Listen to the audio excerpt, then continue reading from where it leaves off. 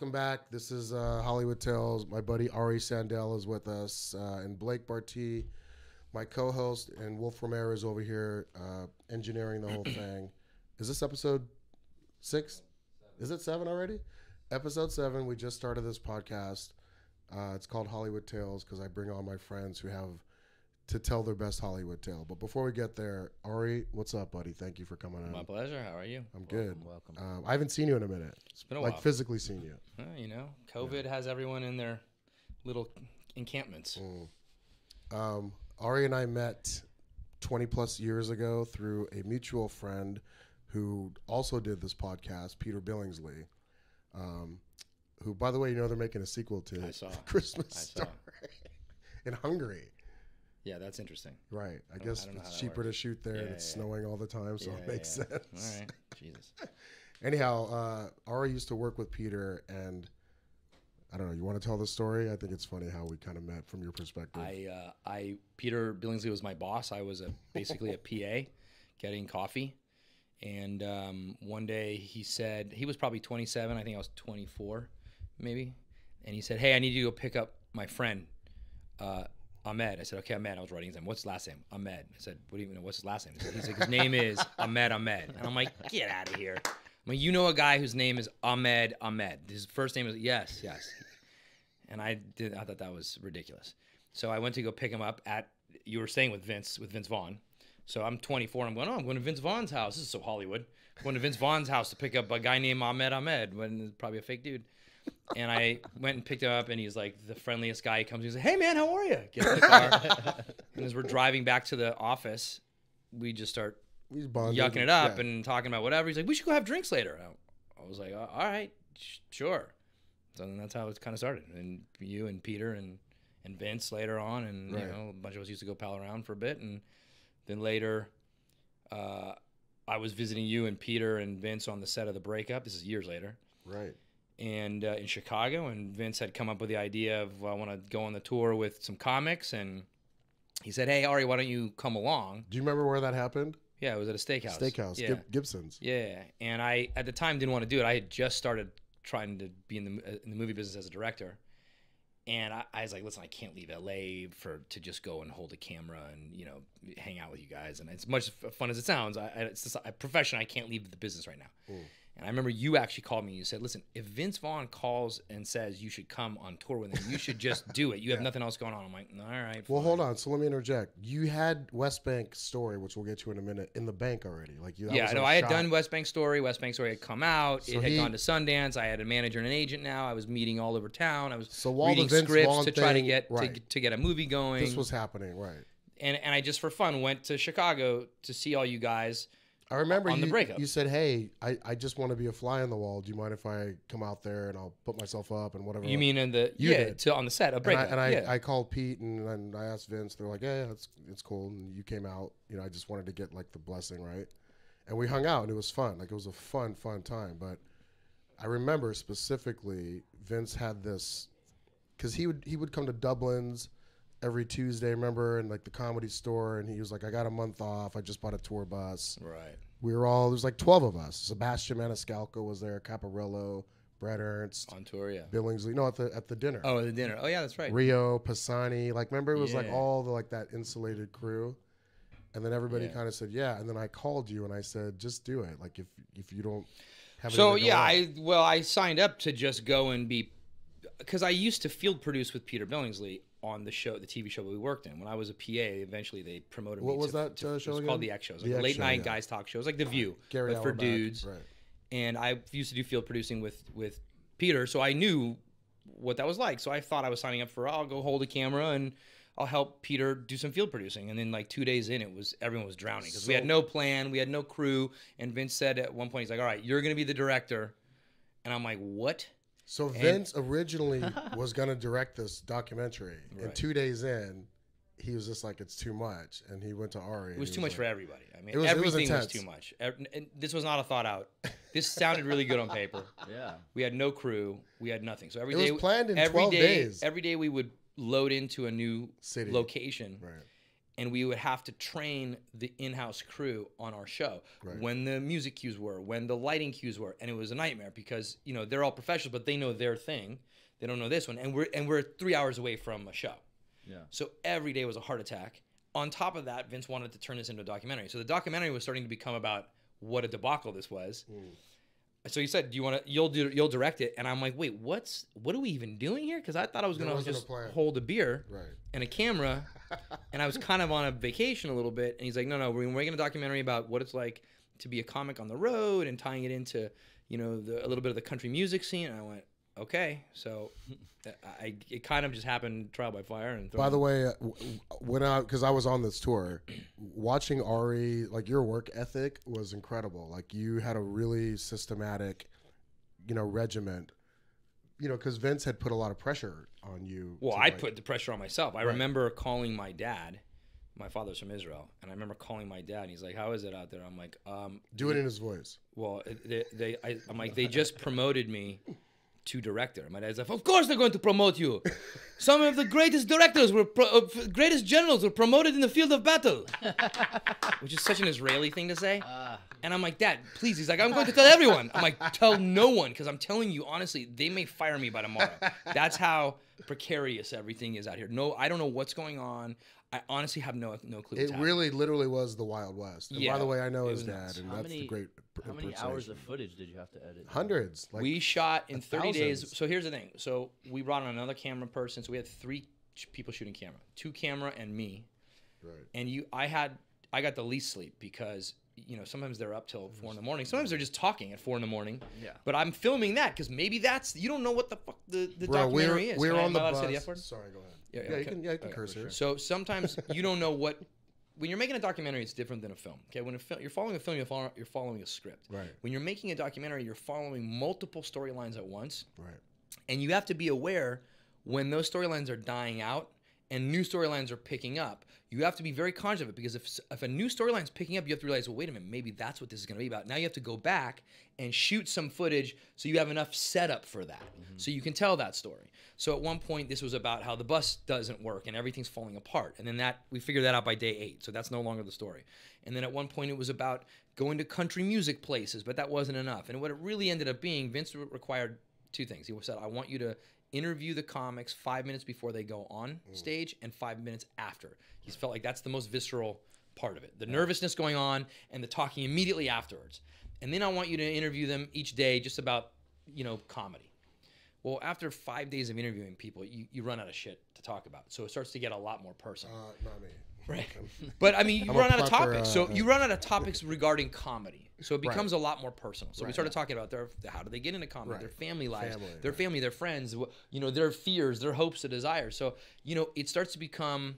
You start to realize like, wow, this movie is really about what the craft of comedy is and what does it take to be a comedian. And each one had their own journey. Ahmed had a very different journey than John Caparulo, Yeah. who had a very different journey than Sebastian Maniscalco or Brett Ernst. And so some of it's about the show, and a lot of it becomes about these guys, these four guys. And um, we shot 600 hours, I think, Right. which is insane. Right. And took us a year to edit. into- Took us a year to edit we, to a two-hour movie. Right. Yeah. So you know, it was. And you got these guys stand up on there too, so you have their stand up. Yeah, yeah. Yeah. So a couple questions. Um, working with Sebastian and seeing like where he's at now, did you see that coming, or Nobody saw nobody saw that? that coming to that degree. I mean, if, if you're I mean, asking he's me, selling out stadiums. oh yeah, I know.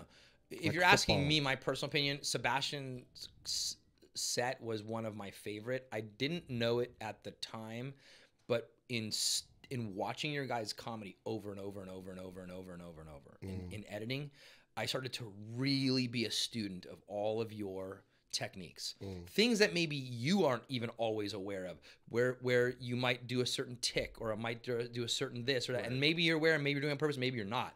And you learn so much about the people. I I actually I, I think i said this later to sebastian. I said all of us in the editing room have are feel like we're your best friend because we've spent the last eight months with you every single day and all we do is interact with you through the screen by editing but you're not a part of this. So I'm like, I- I was friends with Sebastian, but I'm like, you don't know that the uh, you don't know the other editors. So we were at the premiere. I'm like, these editors feel as close to you as I do. Who was it? Dan Leventhal. Dan and Leventhal Who and else? um, Mike something. uh, no, Matt, uh, Mike? uh, Jim. That's right, Jim. Um, and uh, so I was like, they've spent every hour with you, so they feel like they know you, It- and you don't have that. You're not bringing that to this, but they're bringing that. So it's a weird kind of dynamic. Um, but yeah, we interviewed parents, th- their parents. I interviewed Sebastian's parents, That's your right. parents, My, my mom and dad are in the. Brett back. Ernst's parents, right. John I Caparulo's about that. parents. We I went to John Have Caparulo's house. Yeah, I haven't seen it in years. That's right. You I went to it when it Cap's house. came out. I don't know if anybody watches it even anymore. I don't even know where where you can see it. It's Netflix. it's some. I had the DVD. somewhere. Me No, I think it was on to watch it HBO when we were in the Air Force, and uh, you were in the Air Force. yeah, Oh, cool. Very nice. you know, it's fun stuff. No, tell him he's I'm got. sure a, he's you- got a great backstory. I'm sure you've talked about this. So Yeah, yeah, I we won't, I won't make your listeners good. here, but we'll, we'll talk. After. We actually have Yeah. not. We've never really We dug into your. it, Not yeah. really. You, Oh, sk- you yeah, skate over yeah. it.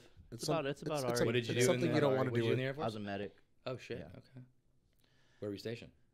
Um, Texas, Las Vegas, Moreno Valley. Cool. Very nice. Fun stuff. And now he's a comic. mm-hmm, mm-hmm. That's the normal trajectory. Yeah, for sure. So, so we, we okay. So we read like do this tour, and then I think it was right after. Did you win the Oscar? So the Right tour, after no, right- so what happened was is right my after? movie West Bank Story came out. It's a comedy musical about Israelis and Palestinians. It takes place between two falafel restaurants in the West Bank. It's about an Israeli soldier. He falls in love with a Palestinian girl. Her family owns one restaurant. His family owns the her fa- his family owns the other. It's warring houses like Romeo and Juliet. So it's a short film. It's a musical. It's a comedy. I it came out in 2005, uh, January of 2005.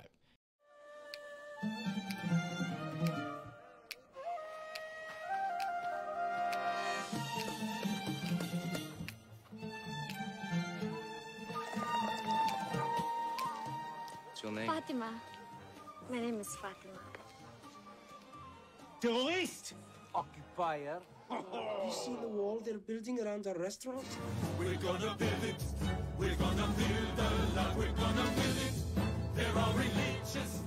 Let me come to your balcony tonight to annoy your parents and neighbors by singing you a really overdramatic song about feelings and love. What?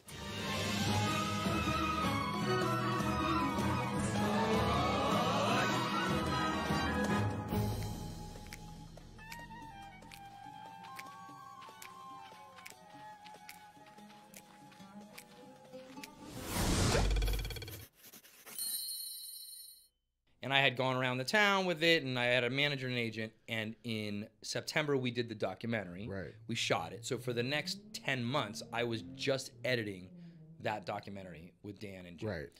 And And that we'll and talk about that later. But that was a whole different right. mo- monster. Then that came out in 2006 at the Toronto Film Festival right. in September. Right. And by December, I was on a short list for the Academy Awards for my movie from a year and a half before, two years before, which I was like, oh shit, how'd that happen? And by February or January of 07, it was announced that I was nominated for an Oscar. So Right. like this weird trajectory right. happened. And then in February of 2007 were the Oscar. That's when I won the Oscar. And so it kind of it's weird. My my short film had a very strange existence because it had a huge splash coming out at Sundance, and then it kind of went around the world and did its thing. And I thought it was going to die out. And then two years later, It it gets second life. it wins an Oscar, and now it has an even bigger splash. So now I'm doing the same meetings around town that I did before, the same studio, same production companies. But instead of meeting the mid-level people, now I'm meeting all the. You the had an. Oscar in your hand. Yeah, so I Do you we know, so have? I, I do we went. have the speech. I made a comedy musical about Israelis and Palestinians that takes place between two falafel stands in the West Bank. And it's a movie about peace and about hope. And uh, to be able to get this award just goes to show that there's so many other people out there who support that notion that when it comes to the situation between Israelis and Palestinians, hope is not hopeless. And on another note, I know a lot of people in America are probably watching and asking, what are the short films? Well, a lot of them are made by directors who are trying to get noticed. And I think in a lot of ways we represent the little guy because we don't have big studios behind us or big name actors or a lot of times the, the budgets we need and it relies on perseverance and stick to itiveness and hustle and a dedication and loyalty from a cast and crew who are doing it for pennies if not for nothing so i'd be remiss if i were to take this award and not thank my co-writer kim ray my producers pascal Vaguelsy, amy kim ashley jordan ravi malhotra and my composer yuval ron and last but not least the two people who never doubted me, even when I doubted myself. My mother, who's here in the audience, Kathy, and my father, Dan, who's watching. I love you. Thank you. For the record, I and I because I show that speech to like friends and people. Like he's like my, I'm proud of my you know little brother here. You And- said you got a little teary eyed. No, I, I've choked up a couple times when I've watched your speech, and to this day, I still do sometimes because it's so heartfelt and it's really not Hollywood and bullshit. Like, f- fucking Jack Nicholson is sitting in the front going, Yeah, they cut the It's a, Jack it's a fucking big deal. no, but, I, listen, if I'll you- be honest with you. It was a total blackout for me. And- I remember none of it. and and if it's I like may, car- watched your it's speech, and car if I crash. may, I was. That's a sign. The Beverly Hills thing, literally, that's a sign. uh, what was I gonna say?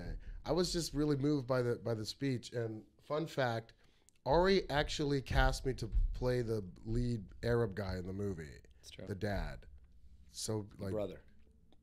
Was it the brother? The brother. brother, Sorry, yeah, yeah. yeah. And there was something with comedy I committed to, and I just needed them. I don't know what I can't really remember. Schedule- what it was. schedule- schedule yeah, yeah, conflict. yeah. Um, so I couldn't do it, and then he hired Joey Naber, who's a good friend of ours, and, and killed it. But you know, sometimes in, in your career, you're like, "Fuck, I should have taken the Oscar like- award-winning movie." That's- you saw that Oscar happen, you're like, motherfucker.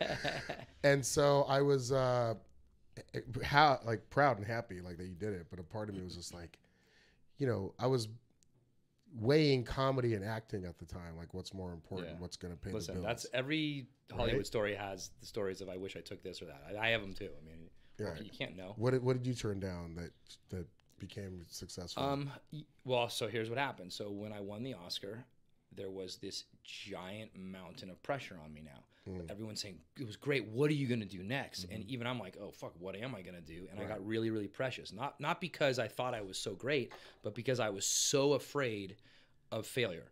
We have And- to live up to something. Yeah, and I was so afraid that if the next thing I do isn't as good, they're gonna say I'm a one-trick pony. And and you know, when you're a first-time director, they're not giving you the best scripts on the pile. They're giving you the dog shit ones they have at the studio and saying, "Can you fix this?" so you're reading all of these not great scripts, and you're like, and and I'm having panic attacks. I'm like, I have to fix this. I don't know how to fix this. I don't want to do it.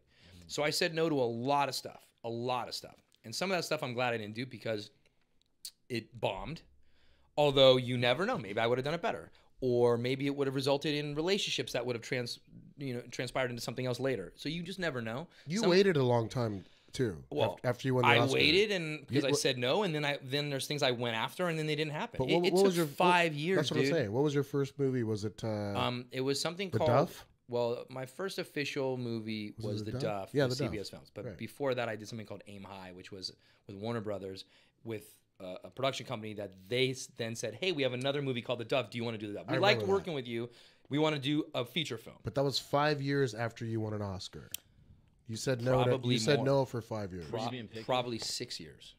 Um, I was too picky at the beginning, based on fear. Yeah.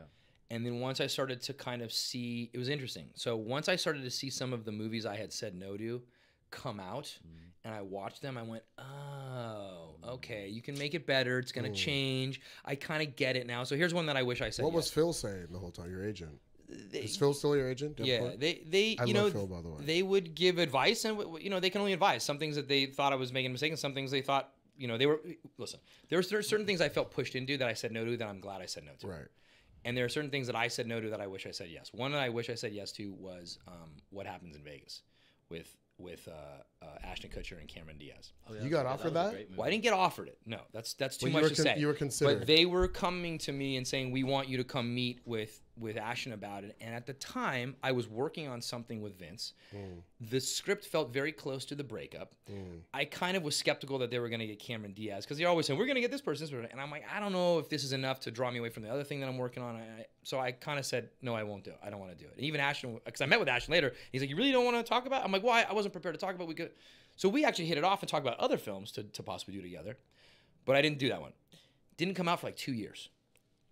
Came out eighty-four million dollars. I'm like, Right. shit. Uh, right. And when I saw it, I went, oh, yeah, I get it. why, I get it. It was way funnier than when I read it. You know, y y- y- things change. Also, there, mo- p- movies that are set in Vegas tend to do well because Right. Vegas is a wish fulfillment Right. city. Everyone around the It's world wants to see about Vegas. Landmarks and shit. Yeah. So, you know, there's a lot of things I didn't understand at the time. Now I look at movies differently when I read them. I understand how to do it better. I still have a panic attack sometimes when it's bad. I'm like, oh my, I can't fix this. I don't know what to do. But I calm myself down. So I've just learned. Here's what. Here's another thing I've learned. My process is to freak out at first. Now, you, what the hardest thing is in in, in doing anything as in a, in a creative sense is you know you're always being told you have to listen to your gut. You have to listen to your gut. And you know your gut's got to lead you. And you're like yeah my gut my gut. What i realized is the voice that is in your head that's your gut sounds a lot like the voice that's in your head head that is fear and mm-hmm. sometimes it's hard to, decipher between your gut and the intuition you have to follow and just run-of-the-mill fear that's there to fuck you up mm. so early on i thought i was listening to my gut but what i was really listening to was fucking fear Sure. fear of failure. But now I understand a little bit better how to put the fear away. Like, I don't want to do this movie. I'm like, oh, it's because I'm a little bit afraid of these scenes. I don't think I can do it well. But what if I changed it? Okay. So now I know how to work past it. You never master it, but you learn to, it's like um, uh, constant chronic pain. You learn to live with it Right. as You're opposed to worst enemy. defeating It's a little handicap. Yes. So that's that's part of whenever I teach a class at USC, I talk about the difference between. You're teaching at USC. I didn't know. I, that. I used to. I did it for a few years. Yeah. What don't you do? I mean, I mean, you know. I'll fly real plane. quick before I forget, uh, Matt Damon passed on Avatar. You, you know that whole story. Oh, there's a million of these stories. There's like you know there's certain big actors that pass on movies that become blockbusters because they didn't like the script or their agent told them there wasn't enough money or whatever the case is. Um, the second thing, and I just want to kind of connect this story. I was on. I didn't. We haven't talked about this on the podcast uh, yet, but I was on Punked for uh, four episodes. I remember. I did four episodes of Punked, season two. You know, I auditioned for Punk. You did? Punk, yeah. Oh, you didn't tell me that. It was terrible. You did not tell me that. You actually went in, I think, the same day and after me. And then you Oh. told me you got it. I'm like, fuck. What did I? And then you Oh, told me did how you? you got it. I'm like, oh, it's brilliant. As an actor, no, I'll tell you what happened. So because I knew one of the producers, So hold and on, I I- felt I'm like I could Alana- fucking do I could do this. What's so hard? no, I clammed up. I was terrible. I was terrible. So Alana, Alana, what was her last name? Uh, Lana Darsky. Alana Darsky. Alana Darsky's sweet gal uh, was Ashton Kutcher's agent's assistant, Mm-hmm. and you were friends with her. And she called They you. they said and they're you- looking you- for people, and I'm like, you should I call- would crush that. She's like, Are you sure? I'm But like, then you recommended trust me. me. and then I'm like, just get me in the room. I'll take care of the rest. Now, Uh. I'm not usually that confident when it comes to that kind of stuff. Dude, when the one-on-one sign goes down, Yeah, it's that's about. Is. That's funny that you were like you said that. I'll design. crush that. I'll tell you a backstory with. No, I on went in and I was terrible, and it was Really, What did you do? I don't remember. I Like, just what was do they make you do? I'll Basically, tell you what I did. basically, they put you on the spot. Like, Convince me, do something, and I, I did not do it well. I w- I don't know what I was thinking I was gonna do when I got in there. I didn't do it well. It was very awkward, and I walked out and I went, I will never do that again. And then I know what you did. You went in there. I'll tell you what I did. Can yeah, I, yeah, go. So you tell me. You, you tell them what you think I would. I, did. I know you did. You went in there, and um, they said something. Hold on. Can I give give the quick backstory? Yeah. He's friends with this the agent's assistant to Ashton Kutcher, Alana, who's very very sweet. And you recommended me. I think is how it I, worked. I think maybe. you should go see my friend Ahmed at the comedy Yeah, store. Is what you said. maybe. So she showed up showed up at the comedy store one night, like on a Wednesday, like on a dead night. And I went up on stage, and I was in a really weird place in my life at the time. I was I was uh, crushing like a mustache, like a cop mustache, like Right. a big black mustache. Yeah.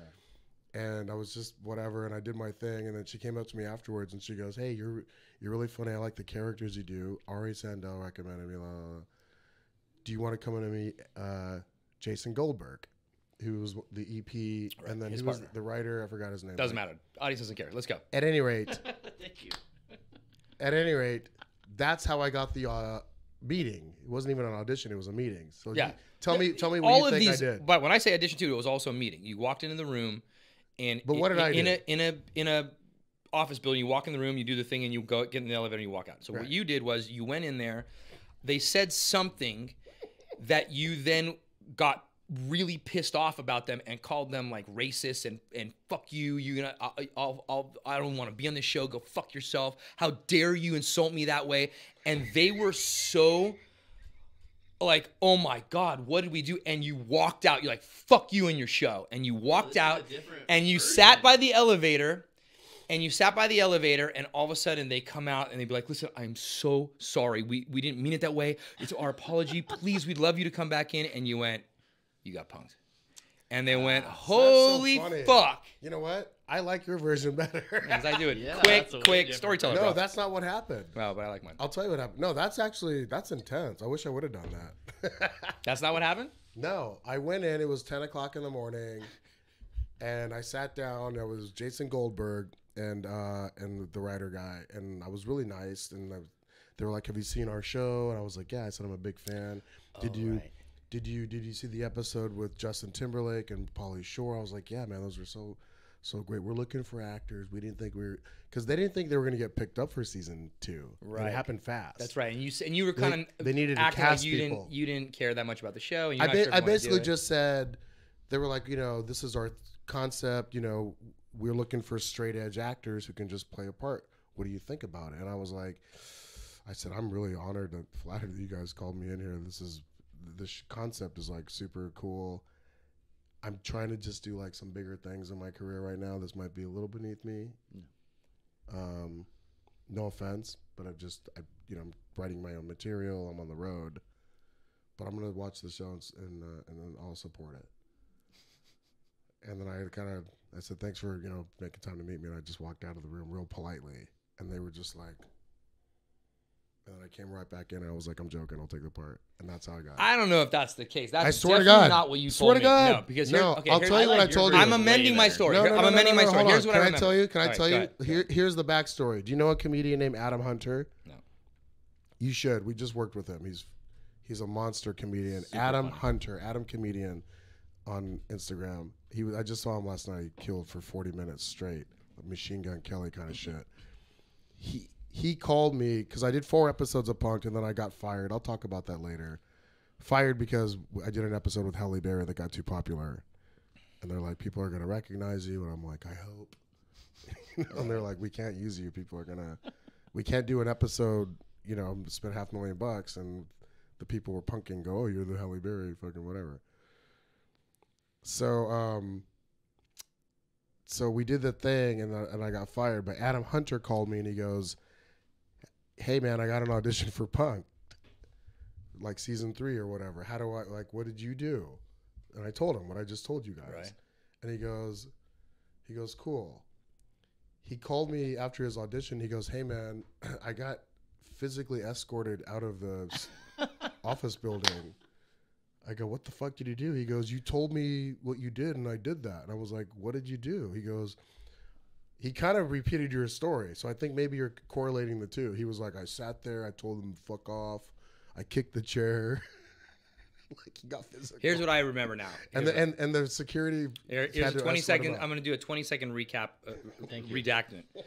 Um, you went in there acting like you didn't really give a shit about it. You did say, "Yeah, That I'm wasn't kinda, mean. I didn't. No, say no, I no, didn't no. But you were, you were, but this was you was, this was an act, and like, yeah, well, you're so you're not kind of nonplussed, not that into it, so so whatever.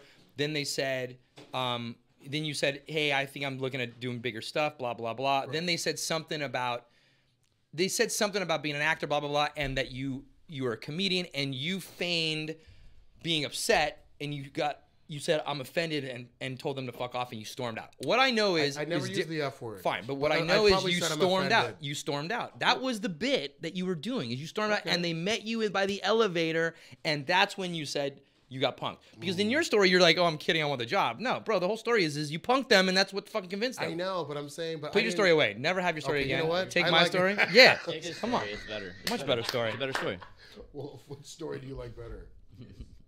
Thanks. All right, all right. That's why we brought you on, the, on Yeah. our podcast. All right. What's next?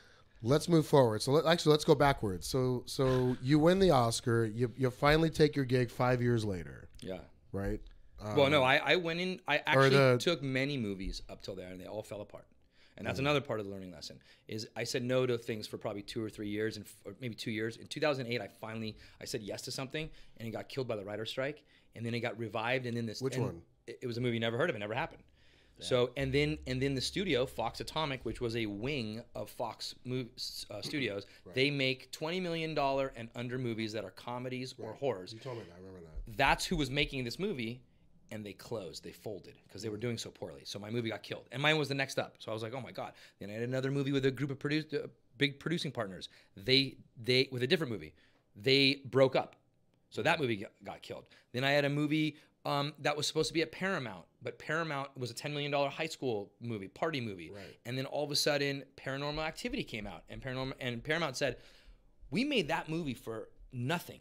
Why are we making one movie for $10 million when we can make 10 movies for $1 million on a micro budget? Let's bet on all the horses. Right, and if Right. one of them hits, we make our money. Right. Can you make your party movie? It really for- is like betting on horses. well, they said, "Can you make your ten million dollar movie for a million? And I went, "No, there's no, there's literally no way." So that movie died. So I had probably twenty five movies die before the Wow. Duff happened. So by the time I got to the the opportunity to do the Duff, I was, I, I mean, gleeful to do it, but also like, oh my god, can I even direct anymore? I haven't been on set and yelled The, action. the in Duff's a really fun, like teen kind of rom com, right? Yeah. Ken Jeong's in it, Mm-hmm. and uh, I thought it was, a, you know, a great first like you know swing out of the gate, you know. Um, but then you were writing. I remember there was a time in your life, and I want to go back because you went to USC Film School, right for grad school grad school, Mm-hmm. um, but your major was directing. directing, um, and now you go back and you teach there sometimes. I did for about six years. I, I was teaching. Yeah. there was a segment of your life when you won the Oscar. Bill Clinton's agent called you and said your speech was great. I think you, we can tour. We can tour your speech. Yeah, like it- it's an agent from a company called the Harry Walker Agency. They're like the biggest agency I to thought that was represent so cool. I'm like- speakers, and they said we represent people. What, what they, said- they literally called me the day after the Oscars, and they said, How did they get your number? Like who? "Who who knows?" Somebody. Uh, oh, I think at that time actually I had my number on my website, which is weird because because after the Oscars I had like five thousand people call me, and I'm like, ah, maybe I should take this off. So they said we don't call people; people call us. Oh, And I'm like, all right, They're like, and people are calling us because they want to book you for public speaking. They're like, Right. do you do public speaking? I'm like, oh, yeah, all the time. I'm, I'm, You know, I, I've, had I've no idea. always, I've always told Ari, you should be a fucking stand-up comic, man. He never. You, well, no- so here's what's you might. interesting. So the the He's very funny. the teaching the university that I went to, which was the documentary, making the documentary with you guys, Right. and hours upon hours upon hours every single day, interviewing each of you of what does it take to have to do to do comedy, to stand up in front of people, to change your act, to work on your act. Weirdly paid off because when I started doing professional speaking for two years, I did professional speaking. I adopted a lot of the stuff I learned from you guys, which was because I would go up. basically, Ari basically stole our cadence. Yes, And presence and material. Not material. I would go up for you know, I would show the movie. But you're a natural anyway. and then I would answer questions. I would actually talk for 25 or 30 minutes and just Right. do a shtick. Right. To I spoke to college groups, uh, uh, Jewish groups, charity organizations. You I, had I a bit spoke, of a, you had a script, kind of. Uh, no, not nothing that I read off of in my head, No, like in I'm the same you- way you do your bits. Right, but you had like answers, like when people would ask you 100%. some. Yeah, you 100%. had and I had stories that go to go to yes, yeah stories. explanations. Talked about your and- dad, all Yeah, that. yeah, yeah. By the way, Ari's dad is one of the most fascinating people I've ever met in my life. Uh, Israeli, moved to America, just like my dad. Just lived like really created the American dream. Yeah.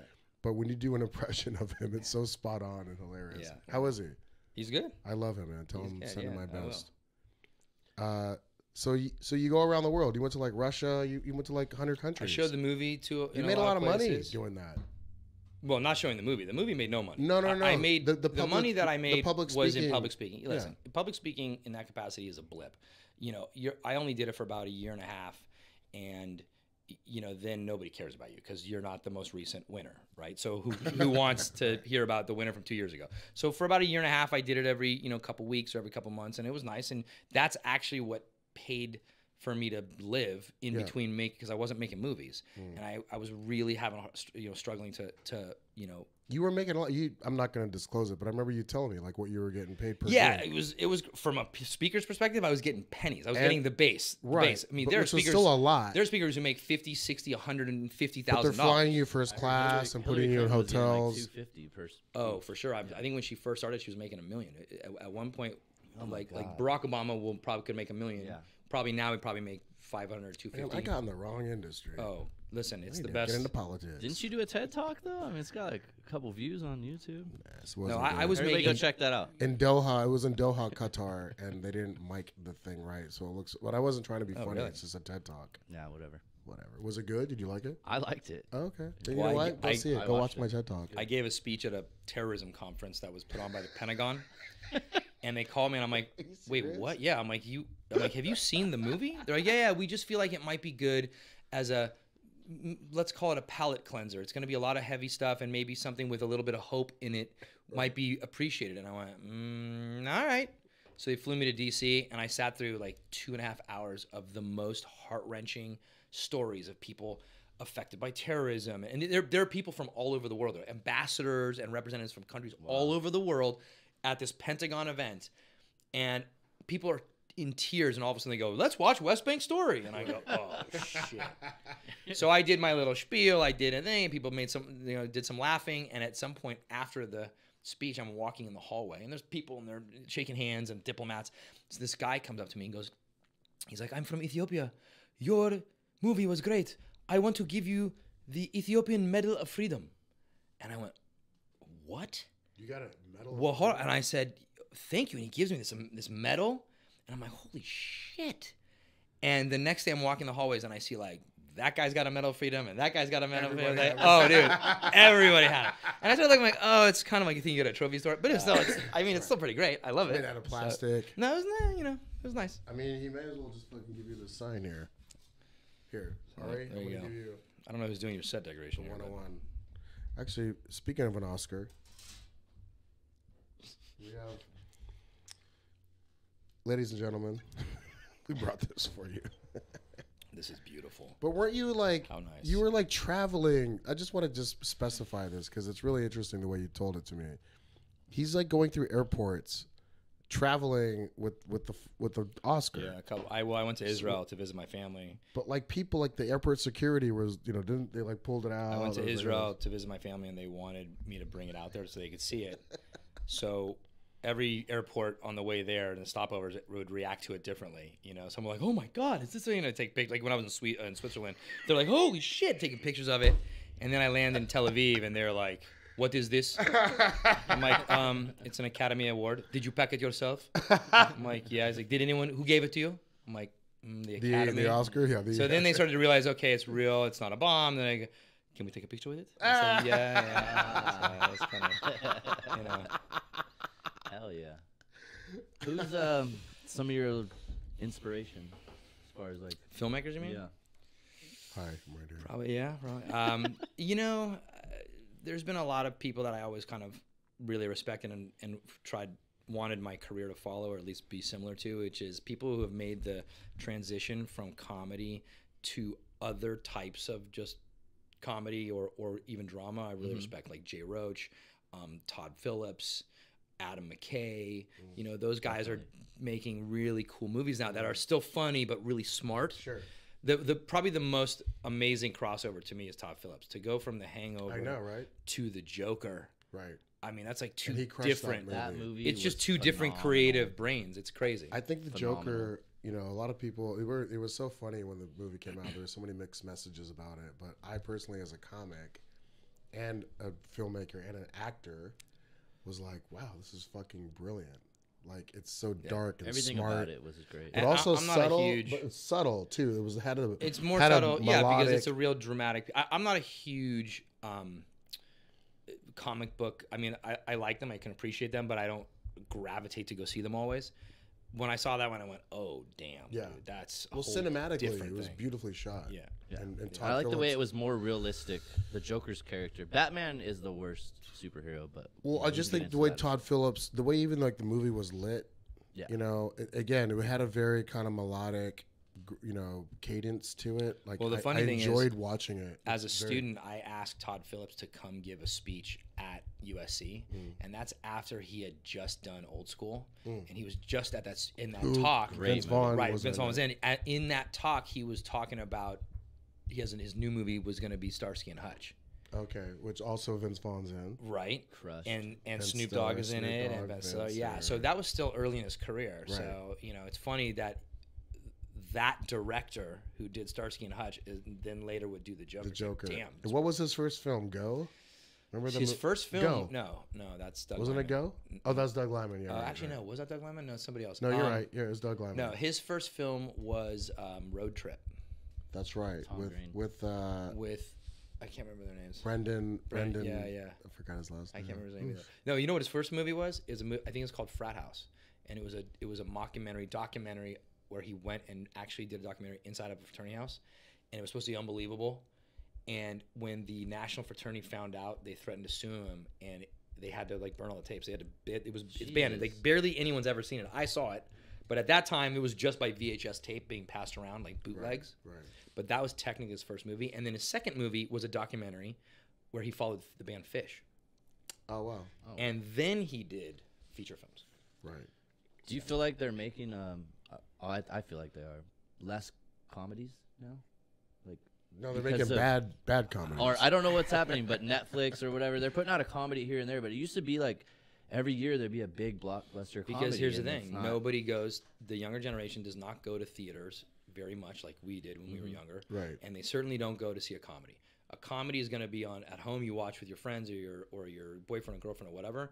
The Your only Netflix thing that's gonna the only thing that's gonna bring them out to a theater is an event, what I call an event movie. a Marvel movie. So, but it can be any event. It can be Or an event Harry in that it's Potter, Mar- Marvel, Right. so it's spectacle. Right. Yeah. It could be a cultural event like, let's say, Get Out or Crazy Rich Asians. That got people Sure. to the theaters because that's an event. Sure. So, r- a comedy's rarely going to be that anymore. Rom com even less so. Yeah. So you're just going to see less. Like, look how, how many teen the Duff would never come out in the theater now, and that would be on streaming. Right. And I honestly, as much as I want movies to come out in theaters, I wouldn't want the Duff to come out in a theater because it would probably get crushed. Movies do kill it just coming out like on Netflix. There's Yeah, a few it's just a different- comedies that come out and they're great and they get good traction, but it just feel like they're making less, even if they are not going to the theaters. they're just not. in general they they make less here's what i would say also though what they're doing more of is streaming series and as a filmmaker that's i love that Like the Apple TV series, like eight any, episodes. right because you can get more into character Yeah, like you you get, take you a get show a better like better bang for your emily buck. in paris okay let's say that that was a movie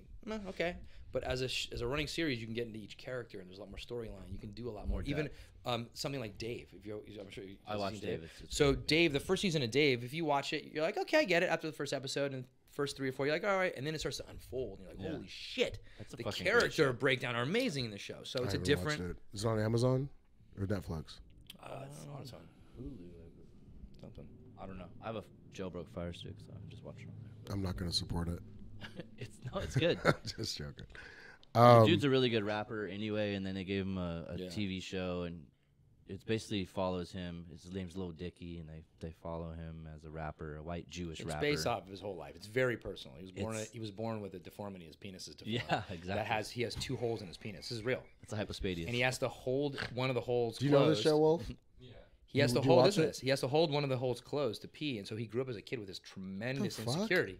Tremendous insecurity. Is this never, a reality show? This is, no, this is, this is a show based on his life, and he has he he grew up with this tremendous insecurity, being intimate with women, and here he is adopting a an art form that is all about masculinity and bravado. You know, hip hop is all about I'm the best and I'm the badass and I slay chicks and I'm about you know whatever. And his name's Lil And he's Dicky? uh, basically living his life as a And fraud he's a great rapper too, though. and he's good at it and he's really funny and so this is this amazing dichotomy of who he wants to be versus who he really is Right. It's gets really personal but like his It's- Jewish it's family, amazing. like, and they're just like, I don't understand. I don't know. The it's a good it's a funny as fuck. good I'll It's a check it out. show. Listen Dicky. in a world where we're trying to find new things right. you gotta hand it to him that's a very Okay. unique storyline Yeah, All right. that's good. Fair enough. Anything else in the works? Yeah. What's up? What's here? going on right now? um, and then I'm- and then and then tell your best Hollywood tale. oh yeah i don't know if i may have told them all um i you, uh, you told a lot. today, I uh, what am I working on next? I'm working on a Christmas movie. Um, that's a musical. About a an elf who has to save Christmas, and I, as a Jew, I love Christmas. Yeah, yeah, So yeah. I'm very excited about the possibility of doing it. So I hope it happens. Um, it's Hmm. still a ways, still a ways off. I've been writing a couple things on my own. You know, it's a little. It's always yeah. chasing, chasing, chasing. Yeah, That's about it. that's cool. My best Hollywood story. I think I gave you my best Hollywood. I don't think I have anything that comes to head, comes to mind. I mean, just talking out loud, the last uh, whatever half hour, hour you've been here.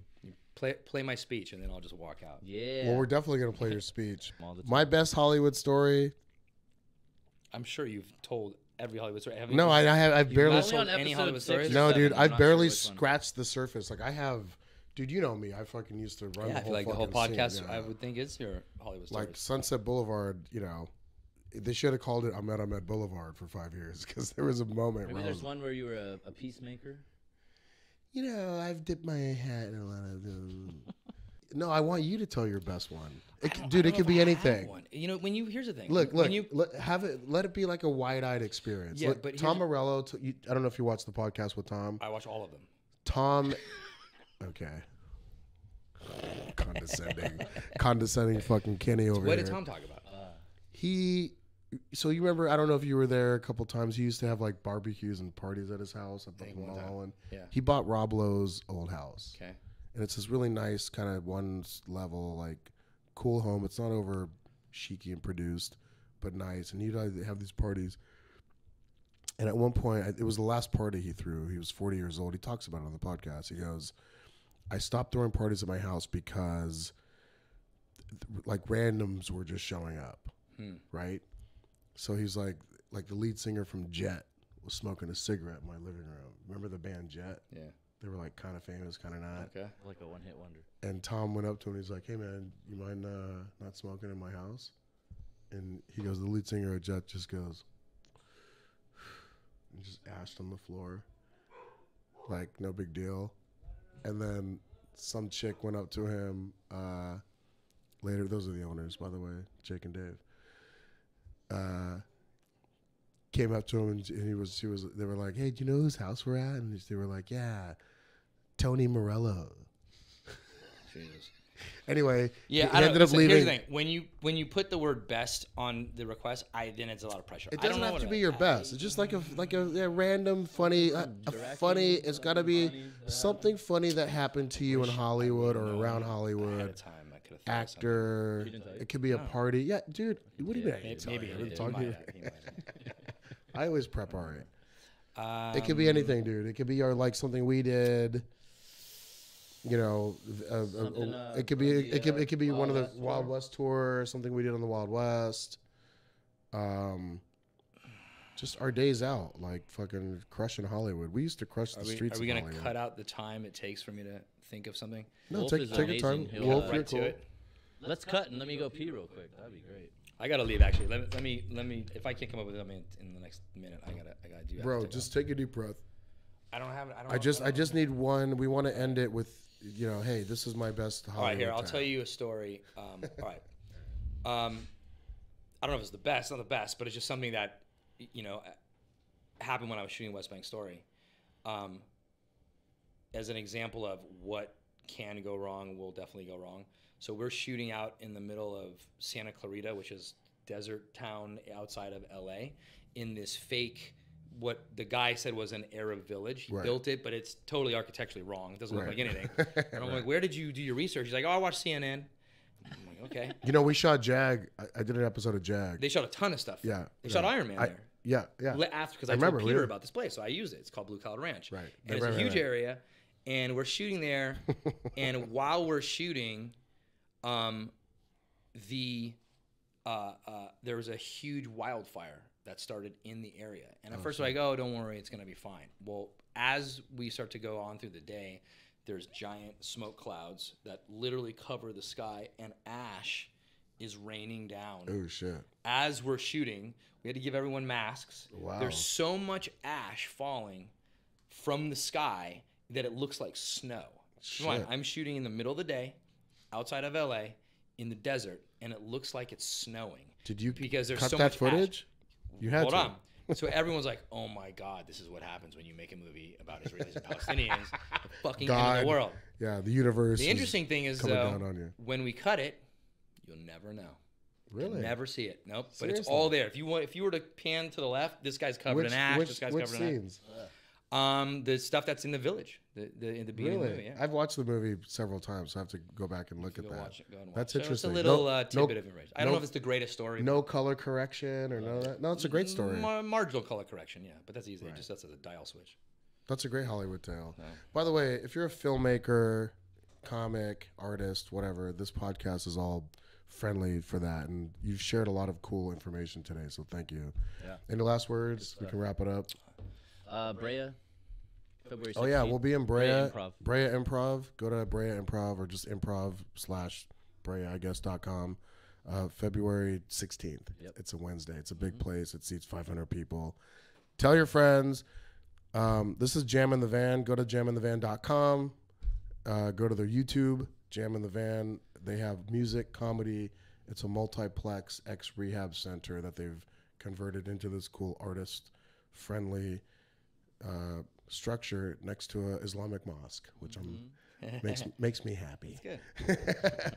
Wolf Ramirez over here. Thank you, bud. Thanks, we we have to start getting a camera on you, bro, like a GoPro or something. I want to. I want you to like be a part of it. And uh, Jack Higgins, who's our creative director, and um, the two Jakes who run this place, David, Ari. Any last words, Good. Blake? Good man. Episode seven, right? Episode seven. I seven. think it's six, but we're cool. Check us out uh, at Ahmed Ahmed Comedy on Instagram. At, At Ari Sandel. Blake.Barty. Say it again. At Blake.Barty. At Ari Sandel. Don't follow me. You don't care what I Whatever. He has We pictures care. of his We dog Nobody and cares. shit. But that was fun. Thanks, bro. My pleasure, man. Thanks. Appreciate it, man. Thank- Pleasure. Thank you. Thank you. Thank you, guys. Be safe. Thank